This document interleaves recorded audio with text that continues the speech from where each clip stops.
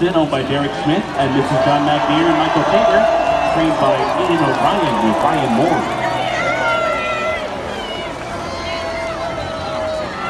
Number 15, Instilled Regard, is owned by OXO Equine, trained by Jerry Hollendorfer with Drayden Van Dyke.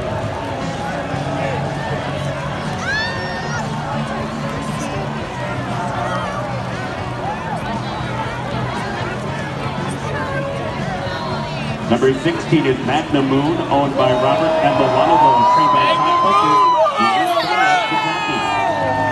Woo! New York, baby! 17 is Solomini, owned by Zayat Stables, Mrs. John Magnier, Michael Tabor, and Derrick Smith, trained by Bob Baffert with Flavien Prat. 18 is Vino Rosso, owned by St. Elias Stable, and Repole Stable, trained by Todd Pletcher, John Velazquez. Number 19 is